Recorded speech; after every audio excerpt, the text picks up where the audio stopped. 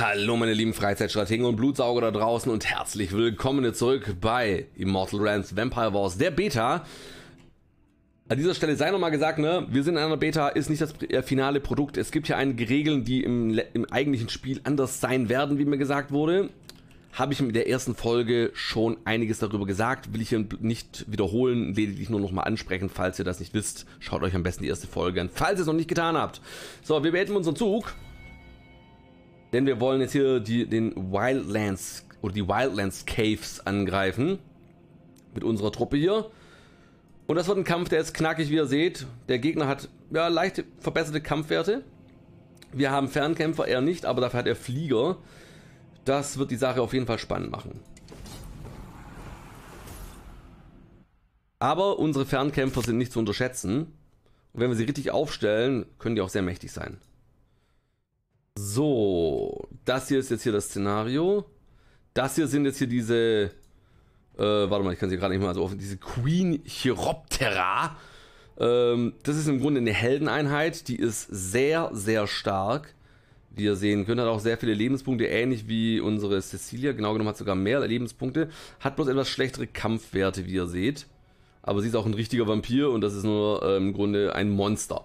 Ähm, das ist der Fledermausschwarm, der ist in der Offensive sehr, sehr heftig. Da müssen wir richtig aufpassen, kann richtig böse reinprügeln, wenn die unsere äh, Leute angreifen. Deswegen müssen wir die ausdünnen und töten, bevor sie das tun können. Ähm, hier haben wir dann nochmal eine Dire Bad, die entspricht quasi mehr oder weniger hier dieser äh, Queen Chiroptera, bloß halt in ja, etwas abgeschwächter Variante, hat aber auch genau denselben Punkt, ne? Also ist eine Offensive mega stark. Wenn man dann Gegenangriff macht, äh, macht man ordentlich Damage. So, für uns ist jetzt wichtig, dass wir jetzt hier erstmal eine wichtige äh, Verteidigungsposition einrichten. Und deswegen stelle ich mich jetzt erstmal hier so hin. Ich stelle mich hier so hin und ich stelle mich hier. Äh, haben wir noch mehr Speerträger? Wir haben noch mehr Speerträger, das ist aber äußerst praktisch. Stellen wir uns noch so hin und so hin. Und unsere Fernkämpfer stelle ich dahin und dahin. Das können wir allerdings alles später noch ein bisschen ändern. Das Problem ist, die können jetzt hier reinfliegen, aber vielleicht kriegen wir das auch hin, ohne dass es äh, irgendwie Trouble macht. So, das ist so eine Taktik, die ich mir gegen diese Gegner hier ausgedacht habe. Ihr werdet gleich sehen, warum. So, wir können beginnen, aber ich sage jetzt erstmal hier verzögern. Lasst den Gegner erstmal ranfliegen. Flap, flap, flap. Teleport-Fledermäuse. Schön, ne? So, ihr seht, ich komme jetzt momentan hier nicht ran. Leider an gar nichts. Deswegen kann ich eigentlich ja nur Wait machen bei denen. Hier kann ich auch nichts machen, wie ihr seht. Kann ich also auch nur Wait machen. Und ähm, noch ist der Gegner hier nicht am Start. Deswegen ich auch nur Wait machen kann. Also wir, wir werden jetzt einfach hier ganz, ganz keck warten. Ganz keck warten. Uns gar nicht stressen lassen. Nächster Turn.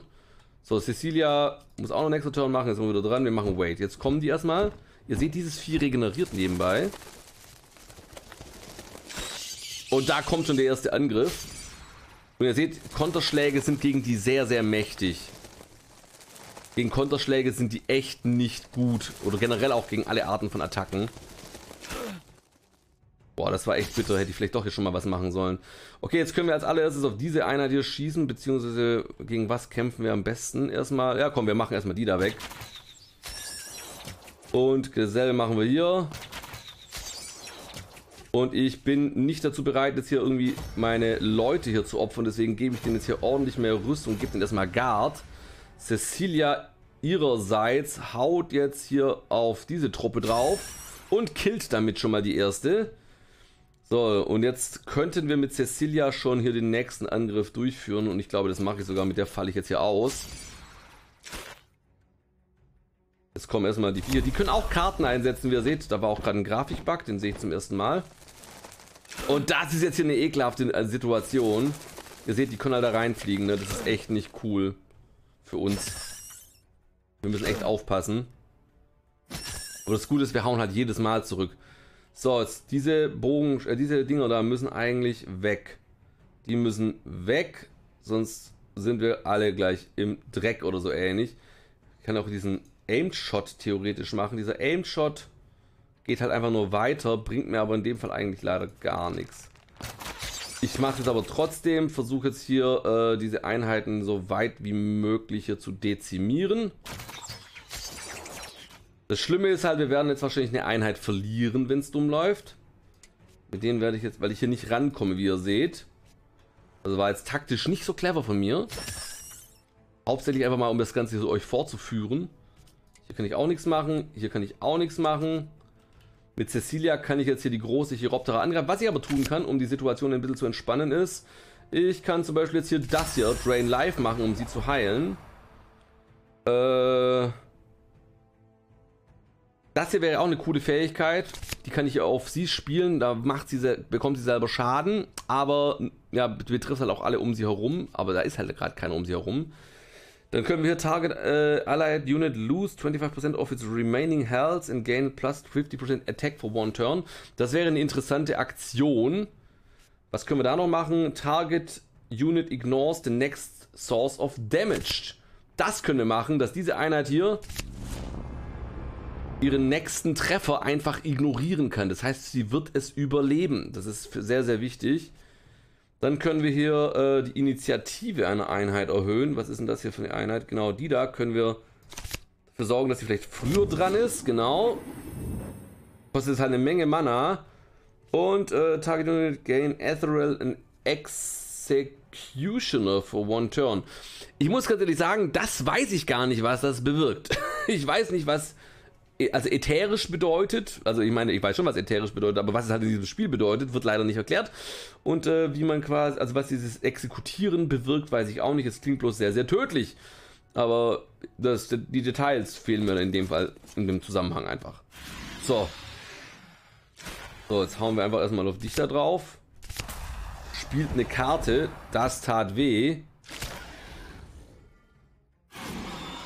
Das ist eine sehr, sehr gefährliche Nummer hier. So, und jetzt können wir nämlich jetzt hier angreifen. Wir können jetzt aber auch das hier spielen.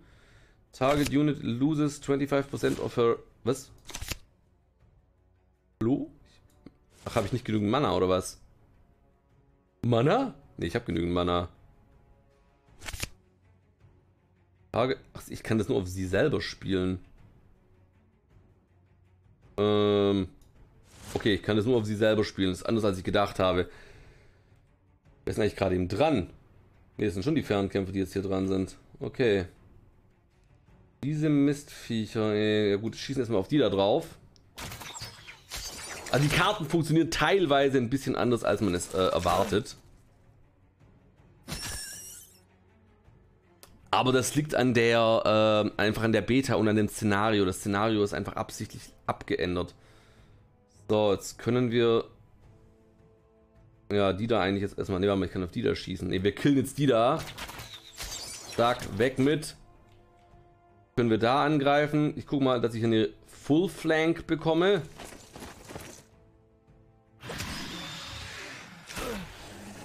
Wie gesagt, ich habe ich hab ja gesagt, dass der Kampf nicht gerade Billow wird hier, ne? Und das ist tatsächlich der Fall. Ähm, Problem ist halt, der kann jetzt ja gleich drüber fliegen, wenn es dumm läuft. Was greifen wir hier noch an?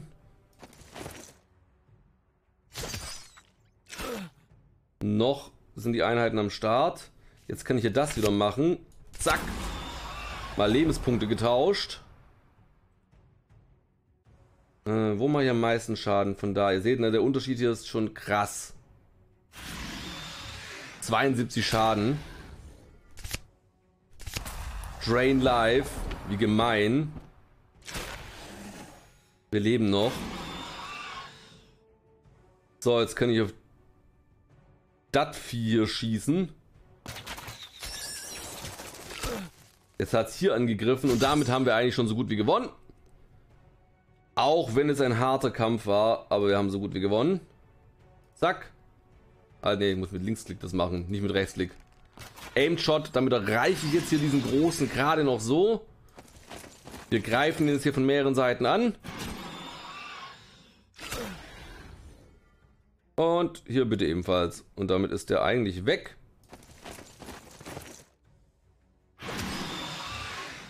Und wir haben es gerade so überstanden. Also ihr seht Kämpfe, äh, die so punktetechnisch mehr oder weniger auf Augenhöhe ablaufen. Da muss man sich schon was einfallen lassen. und auch mit den Karten spielen, um sich diese kleinen Vorteile bringen. Und die KI setzt diese Karten auch ein. So. Ihr seht, ähm, die leben noch, aber es ist kein gutes Leben. wir bekommen wieder Karten. Hier Meditation. Und wir bekommen nochmal was. Hier einen Lebenspunktering. Nochmal hier interessante Karten. Und das hier ist eine dieser Karten, die mich am Anfang verwirrt haben. Ihr seht, normalerweise könnt ihr dann mit diesen Karten hier ähm, einen Nachlass auf die Rekrutierungskosten bekommen. Hier in diesem Szenario funktioniert diese Karte anders. Die funktioniert im Grunde genauso wie diese andere Karte, wo wir vorhin Truppen rekrutiert haben. Wir können dann einfach diese Truppen, die es dann dort gibt, in diesen bestimmten Gebieten, wie zum Beispiel diese Cave oder so, hier rekrutieren. Damit könnte ich jetzt hier zum Beispiel an einen Bad Swarm kommen. Ich persönlich bin bloß jetzt kein großer Fan von Bad Swarms, deswegen lasse ich das bleiben. Ihr seht jetzt das Plus. Normalerweise könnte man es hier rekrutieren, ist halt in diesem Szenario inaktiv. So, wir gehen jetzt hier zurück. Kann ja immer noch nichts machen. Diese, an dieser Ritualstelle könnte ich jetzt hier ein Blutbad nehmen. Beziehungsweise ich könnte jetzt eine solche Karte mir organisieren und dadurch ähm, würde ich alle meine Einheiten hochheilen. Das kann ich jetzt aber auch mal so machen. Wie ihr seht, zack, drauf. Alle sind voll. Läuft. Wir gehen weiter. Ähm, was haben wir denn hier? Ein Dracul Cave. Da haben wir auch einen Bad Swarm. Hier gäbe es nochmal ein Village. Ähm, Entschuldigung. Brauchen wir gerade eben nicht. Wir gehen einfach mal weiter. Wobei, ich würde schon ganz, ganz gerne eigentlich Einheiten ausheben. In der City kann ich das nicht. In diesem Fortress könnte ich hier diese Feral Wolves hier ausheben. Die Feral Wolves, wie ihr seht, sind auch sehr, sehr bestialische Wesen, die äh, keine gute Verteidigung haben, aber dann doch einen guten Angriff. Und vor allem, sie haben diese Lang Ability, also sie können quasi schräg angreifen, was sie taktisch äußerst sinnvoll macht. Währenddessen diese Bats halt einfach, äh, bekommen halt weniger Schaden durch Geschoss, wie ihr seht. Ähm, sind also im Grunde eigentlich die perfekten Fernkampfjäger. Und ich denke, ja doch, wir holen uns mal hier mal so eine Bad-Truppe. Wie ihr seht, normalerweise kann ich sie jetzt nicht anheuern, aber mit dieser Karte kann ich das. Dann bekomme ich jetzt hier so eine Bad-Unit.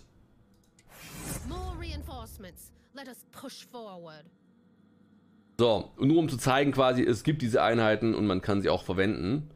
So, wir rücken weiter vor. Und wenn übrigens hier diese Slots hier voll sind, dann war es es eigentlich auch. So, hier gibt es jetzt die Möglichkeit, hier noch dieses Dorf anzugreifen. Da ist so eine kleine Truppe drin, die haben auch die ersten Reiter. Lasst sie uns angreifen. Wir können das Ganze auch auto-resolven, wenn wir der Meinung sind, aber nee, wir kämpfen das natürlich. Bringt auch Erfahrung, wenn wir diese Kämpfe machen. Und ihr wollt es natürlich auch sehen, sonst würdet ihr das Video nicht schauen. So. Damit sind wir jetzt hier drin. Wir sehen, der Gegner hat auf jeden Fall auch Fernkämpfer. Wo sind sie denn? Da. Bowman. Diese Jungs hier, da müssen wir echt aufpassen. Die haben Charge. Wir sehen, die, die äh, Deals Extra Attack plus 10. Extra Damage for each Teil. Also für, jede, äh, für jedes Feld machen die plus 10 extra Schaden. Also gibt es 50 plus 6, macht plus 10, plus 10, plus 10, 60, 70, 80. Das heißt, die können mit einem einzigen Charge wenn du Pech hast, so hart zuhauen wie die Cecilia. Entschuldigung, und das haut dann halt echt düster, düster rein. So, Entschuldigung, ich muss hier gerade einen Schluck zum Trinken nehmen. Ähm, wir stellen uns jetzt erstmal hier auf. Ich möchte mit den Bats natürlich die Dingens harassen. Ähm, dum, dum, dum, die Bogenschützen sind eigentlich hier ganz, ganz gut aufgestellt. Wir müssen eine Verteidigung so aufbauen, dass die Kavallerie hier nicht zu einem Charge kommt. Das wäre jetzt hier momentan so ein bisschen meine Wunschvorstellung von einer guten Kampfsituation. So, deswegen ne, gehen wir jetzt erstmal dahin. Hier können sie nicht chargen. Mm, mit den Fliegerchen fliege ich schon mal dahin. Wie gesagt, mit denen will ich ja die Bogenschützen kaufen gehen. Dann haben wir jetzt hier die Archer, die momentan noch auf nichts schießen können. Aber ich gehe mit denen jetzt hier mal dahin. Bogenschützen, die zentral stehen, sind eigentlich nie ein Fehler. Dann geht ihr noch dahin. Ihr geht dahin. gehst. Hm, das ist eine gefährliche Situation, wenn die Kavallerie jetzt hier drauf chargt. Du gehst dahin. Und du gehst dahin. Die Flanke übrigens hat nichts damit zu tun, die, wo die Einheit hinguckt. Das hängt immer nur damit zusammen, in welche Richtung kämpft sie bereits und dann kommt ein Angriff quasi von einer anderen Richtung. So, mit Cecilia überspringen wir jetzt erstmal den Zug. So, oh, habt ihr es gesehen? Die haben jetzt hier schon mal unsere Bats hier erwischt, was natürlich echt bad ist. So, das sind jetzt die Bogenschützen, ne? Und ich greife jetzt die Bogenschützen an mit den Bats. Das hätte nicht passieren sollen. Auch das hier ist nicht so günstig. Also ihr seht, die Bats sind deutlich schwächer als die Dinge. So, jetzt können wir die Reiter angreifen. Ach nee, wir können jetzt, auf wen können wir schießen? Wir können jetzt erstmal so einen Aimed Shot machen, um die Situation in den Griff zu bekommen. Weil gegnerische Bogenschützen sind echt ein Ärgernis. Und das waren unsere äh, Fledermäuse. Die sind jetzt schon eine Geschichte, was nicht so toll ist. So, dann kann ich mal da drauf schießen. Äh, was machen wir mit den Speerkämpfern? Ne, das sind andere Bogenschützen, die ich jetzt hier am Start habe, oder? Ne, es sind Speerkämpfer. Okay, die Speerkämpfer greifen jetzt hier äh, in einer Halbflanke die gegnerische Dingens an. So. Machen dabei saumäßig Schaden. Leider gibt es also kein so Schere Papiersystem, wie ihr seht, also kein so richtiges. Es gibt zwar schon eins, das so ein bisschen versteckt ist, wie zum Beispiel, dass die Bats hier Vorteile gegenüber den reinen Fernkämpfern haben, aber es ist nicht so ein volles Schere Stein Papiersystem. So, jetzt haben wir verhindert, dass die einen Charge machen können durch unsere Positionierung. Ähm, und können nun, ja komm, ich gehe dahin, hier ausschalten. Bam. Erster Gaul ist down. Cecilia ist schon wieder dran. Ich kann aber gerade eben nichts machen, weil sie hier nicht durchkommt. Da war jetzt gerade im Charge, wie ihr seht. Haben die jetzt einen Charge angewendet, aber der hat keinen Teilbonus bekommen, deswegen war der Schaden, nennen wir es mal überschaubar. Boah, da kommt einiges an Beschuss rein. Wenn ich die jetzt hier wegmachen, ich denke, ich kann die wegmachen mit dem Aim-Shot. Genau, die sind jetzt weg. Jetzt greifen wir die Fernkämpfer hier an. Die können sich im Nahkampf nicht verteidigen. Hier machen wir jetzt erstmal einen Guard. Hier greifen wir jetzt flankierend an.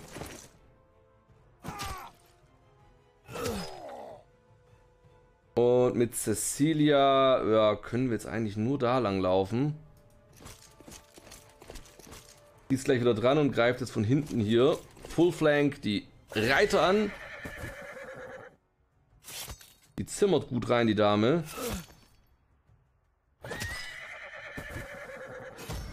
Versuche jetzt hier gerade eben absichtlich zu vermeiden, irgendwelche Dingens anzuwenden, also irgendwelche ähm, Karten, weil ich ein bisschen Mana sparen will. So. Und damit hoffe ich jetzt mal, dass wir den Kampf jetzt hier anfangen können zu entscheiden. Ihr seht, dass diese Swordmen echt gut sind. Also die haben auch gerade einen echt fetten Rüstungsbonus durch äh, ihr Guard. Und deswegen mache ich jetzt erstmal selber hier Guard an. Um Schlimmeres zu vermeiden. Hier machen wir auch Guard an.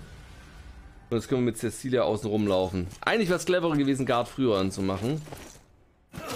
Aber ihr seht, der Schaden hält sich jetzt natürlich echt in Grenzen. Auf beiden Seiten übrigens.